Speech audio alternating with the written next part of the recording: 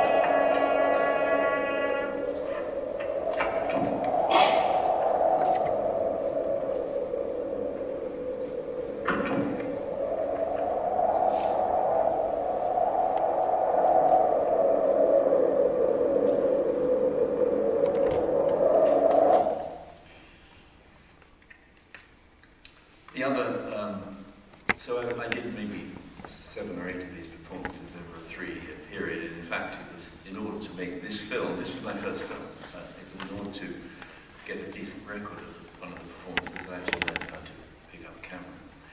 Um, the other work that I found quite uh, suggestive uh, was uh, this one, which was called Long Film for Ambient Light.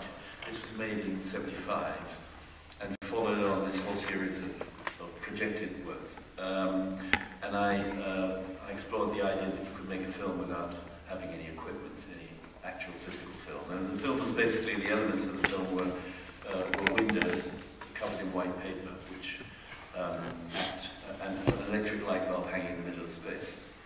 Uh, there was a statement and there's a, a time schema on the wall also, but the, the key thing about the light bulb and the, and the windows were that the um, those uh, white windows became um, screens at night reflecting the electric light, and uh, during the day they became projectors, literally. Um, but it was the light bulb I was staring at in this particular case.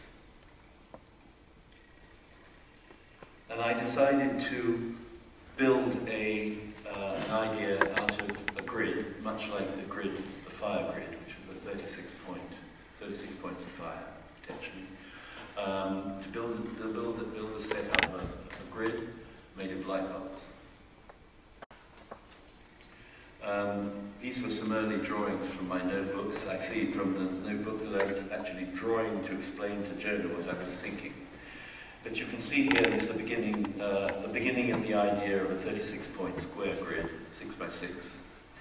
Um, also over on the right, you'll see that I'm trying to figure out how to deploy that in space.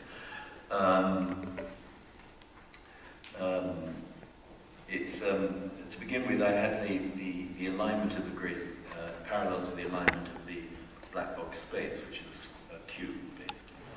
Uh, but I found that rather inert, and I began to uh, play with the idea of lifting the grid up so it was sloping, and then finally talking it through 90 degrees, so we had a kind of a diamond uh, sloping diamond inside, set inside a square box. So here's a, a, a, a slightly later drawing of, of, that grid. So each of those uh, points is a light, imagine is a light bulb hanging from the ceiling. So you've got a kind of a forest of, of, of, of, um, of um, electrical flex as well. And over on the right, this um, these pages from the notebook, I see a diagram of the actual theatre itself. And uh, Jonah started um, quite emphatically, he felt that the right way to approach this was to do a, a quadrilateral, you know, a, a, four-sided um, performance space. Um, and what I've done here, as you can see the red, fine red lines in, is to set the, um, to set the um, uh, grid of lights uh, in, into that square. Here you can see, it's a little subtle, but um, can you see a sloping line of dots starting uh, near the floor by the two seats on the left, and then rising just above the head of the figure and going off um, up above the other seats. Can you see that? That's, um, that's, a, that's a view of the slope of the, my, my plane, which is almost zero near the floor. It's a foot from the floor at one end, six foot in the middle, and 12 foot um, at the other end. What that means is that this is a grid for the dancers to work within. It's an armature for their work. And so they'll be below the grid on one part of the space, and inside is another. Um, and these are two, I took a couple of um, rehearsal shots a month or so back, just to give you an idea of scale. These light, there's a, you can see a line of uh, five light bulbs there, uh, with dancers behind, and you, they're working in the very corner of the space. Um, and you can see, get some idea of the angle of slope. Of course, this is a completely unrealistic shot because, um, in fact, we'll be in a black box. the light, the lights will be, the light bulbs will be providing the illumination. So, uh, of course, you wouldn't see it like this, but it does give you an idea of the kind of structure. Um, and I included this one. Uh, now you can see almost the whole floor in front of you, so it's as if you're sitting on one side near a corner, and you can see two rows of lights reaching, going, sloping upwards. What I think this image shows rather well, I think, is that um, Jonah's choreography has to allow for uh, people sitting in, in the, off in different directions. It's, it's, he's got to speak to four sides. And um, um, this, uh, this is a rather typical situation. I see it very cinematic. The dancer in the front is presenting this group of spectators over this side with a close-up. And um, the dancers back for this particular spectator are, are a long shot. But you, on the other side, it's reversed. And so there's a very interesting way in which the choreography is, is playing with um, quite cinematic um, within, within the field of the, of the square. Um, so uh, having pretty much established uh, this is what I was going to do, um, I then had to myself take into account uh, that I had um, seated audience all over the place, that I had to since they weren't going to come to my light this time, I'm going to take it to them. And so um, I began to explore ways to, um, animate that potential grid of 36 points of light. And there are various things I got interested in that were single. I mean, I'm drawing just lines here, but I'm, that's in mind, I'm just connecting up six dots.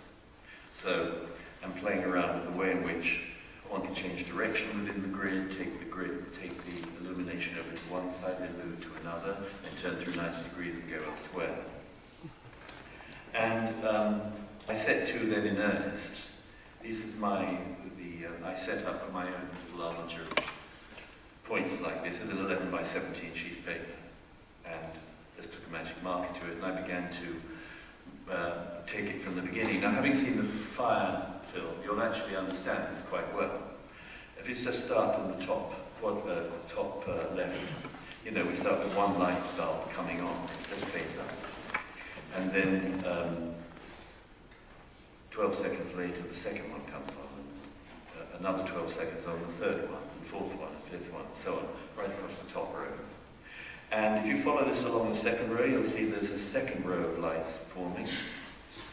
And then by the middle of the bottom row, the second light, second diagram in the bottom row, you'll see there is now two complete lines of light. 24, um, sorry, 12 um, bars. Um, now this is, this is the way this thing works. Um, you'll see in the next drawing, there's a third row starting, but the first bulb in the original row has disappeared.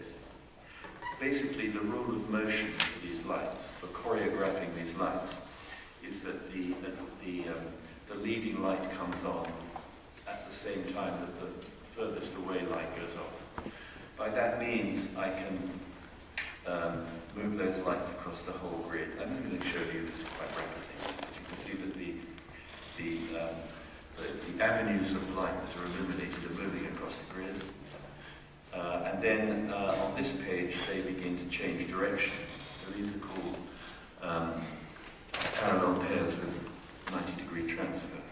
And you see by the bottom row, we now have um, lines that are at 90 degrees to each other. And then finally, moving across that direction,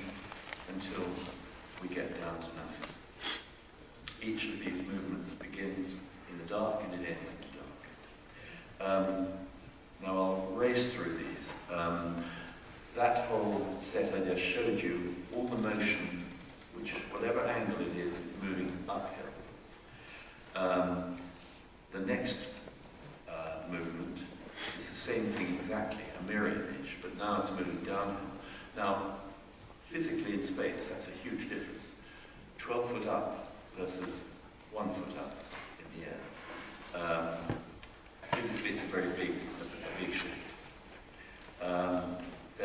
two other movements, one of which uses pairs, um, parallel